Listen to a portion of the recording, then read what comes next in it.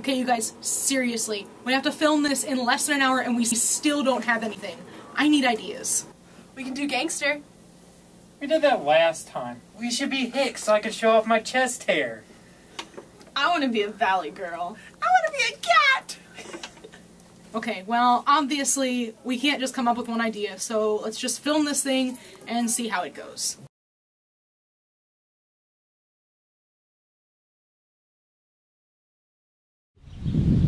The Purebred Dairy Cattle Association puts udder traits as pertaining to high milk yield and longevity. It is worth 40 points of the total score. That's what's up, yo! Udder depth is the most important trait because the deeper the udder is, the more likely the cow is gonna get hurt. And that messes up the cow's swag. That ain't good, bruh. Okay, and now how we measure udder depth is on the hock. If it's up high above the hock seat, that's good, bruh. That, that's, that's real good. If it's like at the hock, man, nah. If it's below hock, uh, we don't want none of that. None of that. Now the rear udder dog, now that makes up 60% of the milk.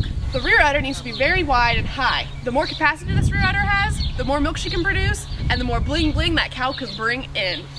All right now dog, when you look at the cow from the rear, you should be able to see the udder divided in half by the median suspensory ligament. The stronger the ligament is, the longer that udder will be lasting, bruh. All right now, bruh, for udder attachment, that should be snug and tight, blending smoothly right into the body wall. The stronger that attachment is, the longer that udder will last. Now you know, bruh, that teat should be placed squarely on the bottom of each quarter. For, that's for the ease of taking off the milkers. Now you don't want the teats to be placed too close together or too far out. That ain't be good, bruh. Nah, nah. Those teats should be cylindrically shaped and about medium length.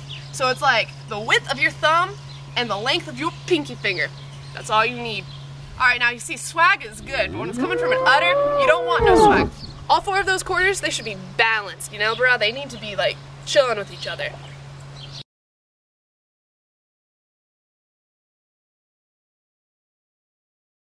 Matt, come on, we need to get this done. All right, all right. I'm talking about dairy character. And man, do I love a girl who is skinny and knows how to work. And as you can see, she's angular and she's producing a lot of milk. When viewing the ribs, that them ribs should be wide and slanted downwards to the rear. To check the width of the ribs, you should put your fingers between each rib. And as you can see, you can fit three fingers. When viewing from the rear, the rib should have a visible curve to them. That is called the spring of rib. And when she has spring of rib, that means she can sure eat a meal.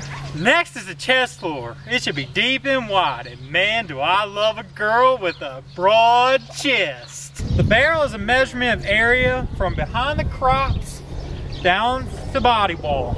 It should get longer and deeper as you go farther back the cow. The thighs are an indicator of dairiness, or the cow's ability to convert feed to milk. And man, are her legs lean. I love a girl with a nice pair of legs. Another indicator of dairiness is the neck. It should be long and smooth blending into the shoulders, and it should be free of excess flesh. The easiest way to determine if the cow is angular is to go to the rear of the cow and look over her top line to her withers. The sharper the point, the more dairy the cow. The cow's skin should be thin and loose like hers, showing that the cow is not carrying any excess weight.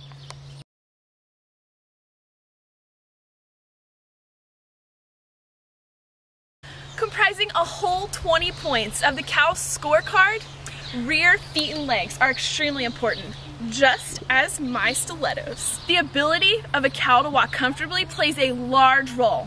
After all, if a girl can't get up and walk in her stilettos, she can't eat. When a cow's walking, her stride should be long and easy, just as if she's gliding across the runway.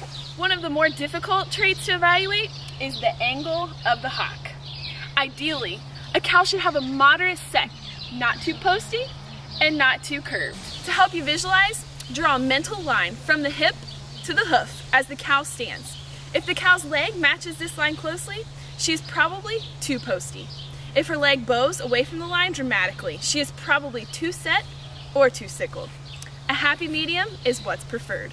When viewed from the rear, legs should be straight with no bowing or angle. When viewing the heel of a cow, there should be a lot of space between the hairline and the base of the hoof, just as on this stiletto. Looking from the side, draw a line from the hooks to the pins. Then draw two lines, one from the hook, one from the pin, to the thurl. If these two lines are equal, the thurl is centrally placed, which is ideal. The farther back the thurl is placed, the farther back the cow will stand on her heels, which leads to sore hocks and feet. Look at the lower part of the rear leg. This part should be flat and well defined. Just as girls' calves should be skinny and looking good. Pasterns should be strong but flexible and provide adequate support for the leg and the hoof.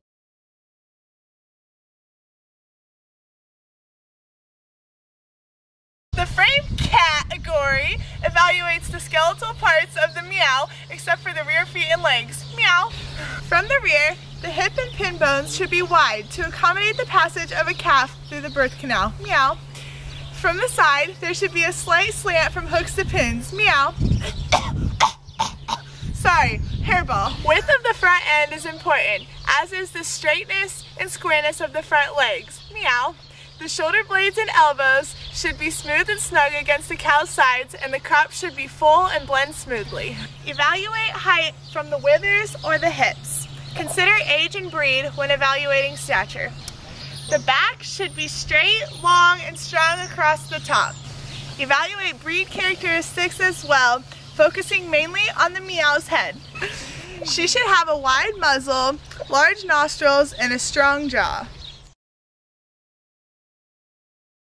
So this specimen shows exactly what the rump should not look like. If you evaluate, the pins are far lower than the hooks. Not a very good example of a dairy animal. Additionally, he stand, she stands very short at the withers. Ideally, an animal of, of its age should be at least this tall. Additionally, for an animal that's two years old, this cow does not show enough volumen capacity to the udder. Ideally, you would see a much higher, wider rear udder attachment and you know some evidence of an udder to begin with. As you can see, this cow lacks dairy character about the head and neck. She's far too Roman in her nose and is too narrow in the muzzle. Although admittedly, for everything this dairy cow lacks in correctness of frame, I will grant that she has exceptional rear feet and legs.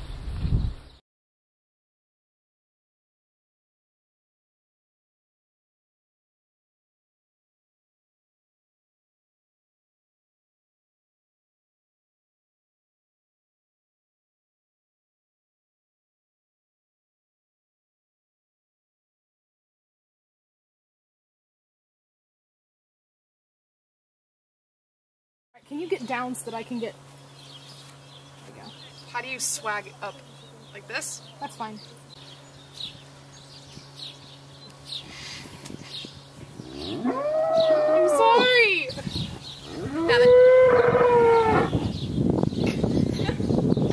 She's trying to tell me what to do. Dude, I should have bought my Kanye glasses. Next is the chest floor. It should be deep and wide. Hold on. Man, do I. Go ahead. Sorry.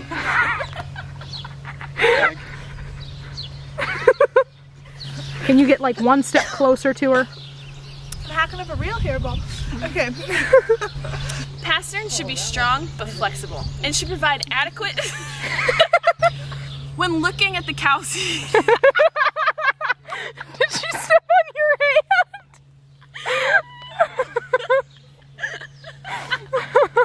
when she's walking, her stride should be long and easy.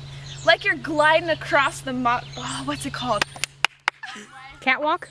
The what's it called? Runway, catwalk. The runway. Liv's would be the catwalk. Slippers. That was a still picture, but whatever. Are you video?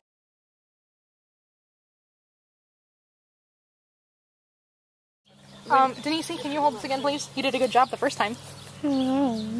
Julie! Yeah, shush up, cats. You ready? I'm gonna get. Around on the other side. so Yeah, that's that what I was thinking.